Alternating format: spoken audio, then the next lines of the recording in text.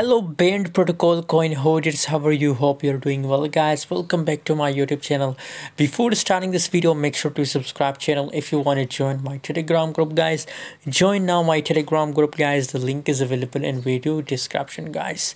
1.59 US dollar the current price of Band Protocol coin 3.95% negative changes occur in Band Protocol guys really bad changes occur now what should we do uh, at, at this time guys uh, is it the best time for buying or selling. Let's see guys but before starting this video make sure to join my telegram group guys for free signal guys. Band protocol volume is looking negative 7.93% the volume is negative.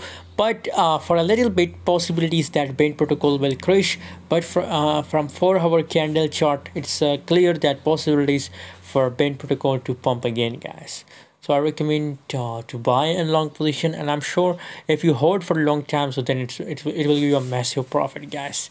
Thanks for watching. See you in next video. Don't forget to subscribe for more latest news and update videos